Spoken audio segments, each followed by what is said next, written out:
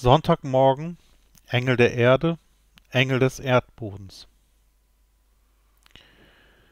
Ich betrete den ewigen und unendlichen Garten, mein Geist in Einheit mit dem himmlischen Vater, mein Körper in Einheit mit der irdischen Mutter, mein Herz in Harmonie mit meinen Brüdern und Schwestern, den Söhnen und Töchtern der Menschen.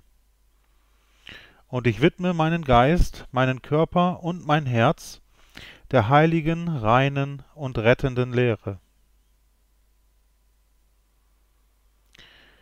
Engel der Erde, mache meinen Samen fruchtbar und gib meinem Körper Leben.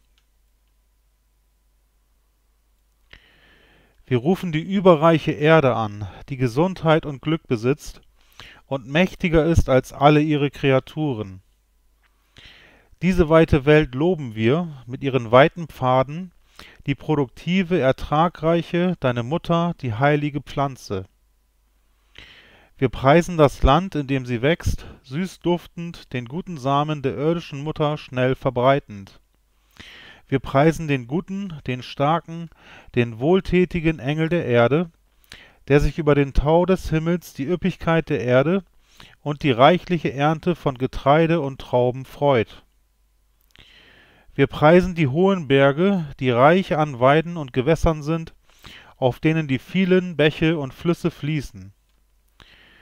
Wir preisen die heiligen Pflanzen des Engels der Erde, die vom Boden heraufwachsen, um Tiere und Menschen zu ernähren, um die Kinder des Lichts zu ernähren. Die Erde ist die starke und heilige Bewahrerin, die Versorgerin. Wir preisen die Stärke und die Kraft der mächtigen Bewahrerin der Erde, die vom himmlischen Vater geschaffen wurde. Wir preisen die Heiler der Erde, die die Geheimnisse der Kräuter und Pflanzen kennen. Den Heilern hat der Engel der Erde ihr uraltes Wissen offenbart. Der Herr hat Medikamente aus der Erde geschaffen, und der, der weise ist, wird sie benutzen. Wurde das Wasser nicht mit Holz süß gemacht, damit seine Tugend erkannt werden könnte? Und einigen Brüdern hat er die Fähigkeit gegeben, das Gesetz zu ehren und zu erfüllen. Mit solchen Pflanzen heilen sie die Menschen und lindern ihre Schmerzen, und von ihren Werken gibt es kein Ende. Und durch sie ist Frieden auf der ganzen Erde. Deswegen lasst diesen Heilern ihren Platz und ehrt sie, denn der himmlische Vater hat sie geschaffen. Lasst sie nicht von euch gehen, denn ihr braucht sie.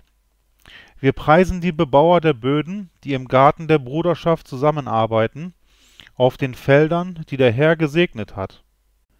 Wer die Erde mit seiner linken und rechten Hand bebaut, dem wird sie viel Obst, gesunde Grünpflanzen und goldenes Korn bringen. Wenn die ganze Erde ein Garten sein wird, dann wird die ganze körperliche Welt frei werden vom Alter und vom Tod, von Korruption und Fäulnis, für immer und für ewig. Barmherzigkeit und Wahrheit werden aufeinandertreffen, Gerechtigkeit und Frieden sollen sich küssen, die Wahrheit wird aus der Erde entspringen und die Herrlichkeit wird in unserem Land wohnen.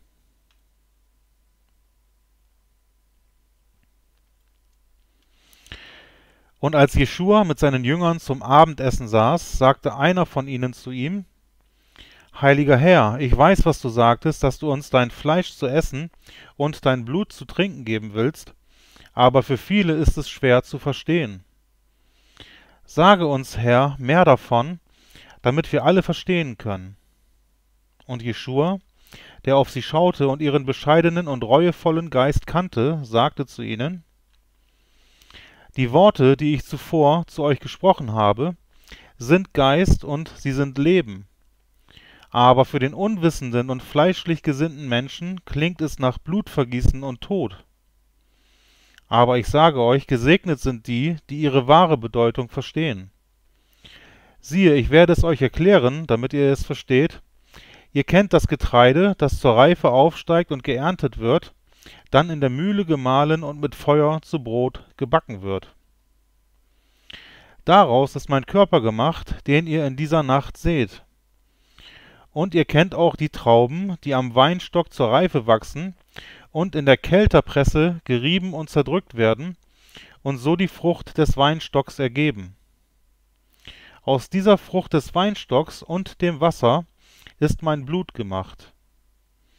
Denn eure eigenen Augen zeugen von mir, dass der Menschensohn nur von den Früchten der Bäume und den Samen der Pflanzen isst und diese durch den Geist in mein Fleisch und mein Blut verwandelt werden.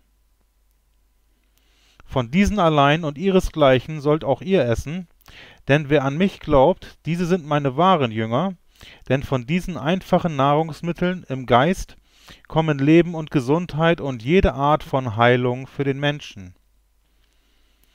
Wie in den Naturgesetzen der Natur, so sollen auch in den geistigen Gesetzen des Allvaters meine Lehre die Speise sein und mein Leben der Trank für euch sein. Das Brot des Lebens und der Weinstock der Erlösung. Denn wie in der Natur das Korn und die Traube in mein Fleisch und Blut umgewandelt werden, so muss dein natürlicher Geist in einen spirituellen Geist umgewandelt werden.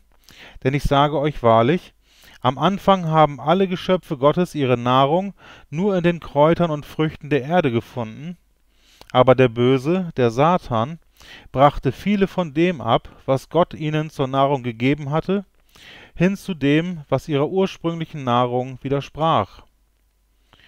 Denn den Verzehr von Fleisch und Blut von Tieren und Menschen brachte Satan, der Gott dieser Welt, dem Menschen und dem Tier gleichermaßen. Denn ich sage euch, Satan hat nicht nur den Menschen dazu angehalten, Mensch und Tier gleichermaßen zu essen, sondern auch die Tiere. Aber auch die Tiere werden zu ihrer natürlichen Nahrung zurückkehren, wie es in den Propheten geschrieben steht, und wahrlich, ihre Worte werden nicht versagen. Seid also nicht wie die Unwissenden ohne Gottes Gesetz, denn sie glauben, dass nur Blut sie von ihren Sünden reinwaschen kann, nämlich wenn sie das Fleisch ihrer unschuldigen Opfer essen. Aber solche sind von ihrem Vater, dem Satan, und sehnen sich nicht nach der Wahrheit meiner Gebote. Wisst ihr nun, was ich zu euch sagte? Haltet meine Gebote und seid menschlich und lebt ein rechtschaffenes Leben, und ihr werdet glücklich und gesund in diesem Leben und in dem Leben sein, was kommen wird. Wundert euch daher nicht, dass ich zu euch sagte, wenn ihr nicht das Fleisch Gottes esst und das Blut Gottes trinkt, so habt ihr kein Leben in euch. Denn es heißt, die Sanftmütigen und die Demütigen werden die Erde erben und alle, die nach dem humanen Leben suchen, in Einheit mit allen Geschöpfen Gottes. Denn ich bin das heilige Gesetz, das vom Himmel herabkommt, und jeder, der von meinem Tisch isst und gehorcht, isst von meinem Körper das Brot des Lebens, und wer von meinem Blut trinkt, trinkt die Flüsse und Ströme reinigenden Wassers und wird den Tod nicht schmecken. Denn ich bin das Gesetz, das Leben und der Weg und gebe den rechtschaffenen Söhnen der Menschen ewiges Leben. Und die Jünger verstanden nun die Bedeutung der Worte von Jeschua und sprachen zu ihm, Heiliger Herr, wir verstehen es jetzt. Gib uns immer von diesem Brot zu essen und von diesem Kelch zu trinken, denn deine Wahrheiten sind uns Speise und Trank, und durch deine Substanz können wir für immer leben, wie du es versprochen hast.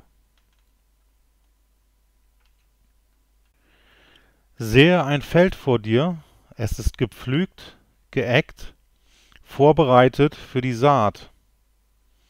Sehe, wie ein Bauer Korn aussät, die Saat sprießt, genährt durch die heilige Kraft im Nährboden der Erde. Sehe, wie das Korn wächst, sehe grüne Wogen, goldene Wogen, den Samen für die nächste Saat in ihrer Krone tragend.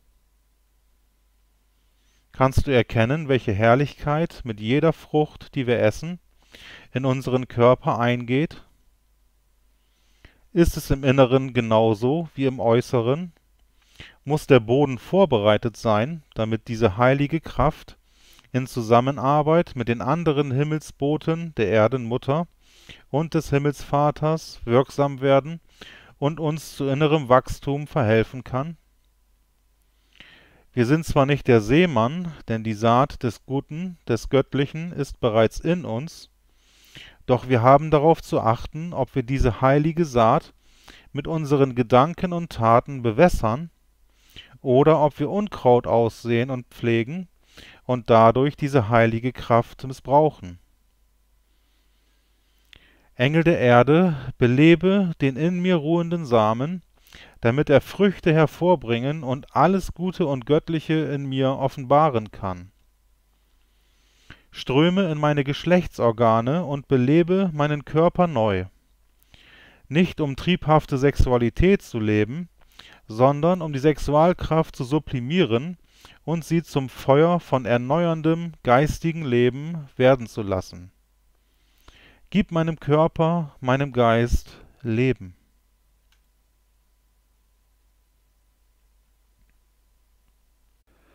So wie euer Same neues Leben schafft, so durchfließt der Samen des Engels der Erde die ganze Erde. Im Gras, im Boden, in allem, was aus dem Boden wächst. Wisset, o Söhne des Lichts, dass derselbe Engel der Erde, der deinen Samen zu Söhnen und Töchtern macht, auch die winzige Eichel zu dieser mächtigen Eiche macht und den samenhaltigen Weizen zum Brot für die Menschensöhne heranwachsen lässt.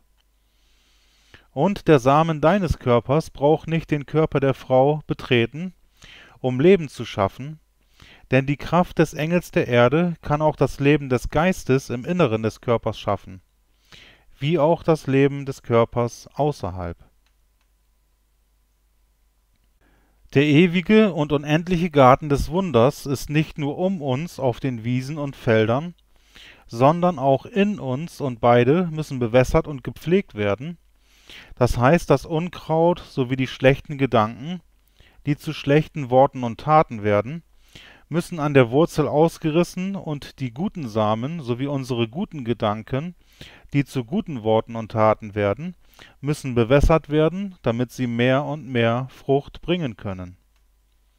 So wie die Früchte der guten Pflanzen des äußeren Gartens physisches Leben bringen, so bringen die Früchte der guten Pflanzen des inneren Gartens ewiges Leben. Die Kraft des Engels der Erde birgt das Geheimnis des Lebens in sich, um die Samen der Erdenmutter, all die Pflanzen und Bäume, aber auch den menschlichen Samen in Zusammenarbeit mit den anderen Kräften der Erdenmutter und des Himmelsvaters zum physischen, aber auch geistigen Leben zu erwecken, damit sie Früchte bringen können, die wiederum zu neuen physischen und geistigem Leben führen, sowohl in uns selbst, aber auch mit unserer Hilfe in anderen Menschen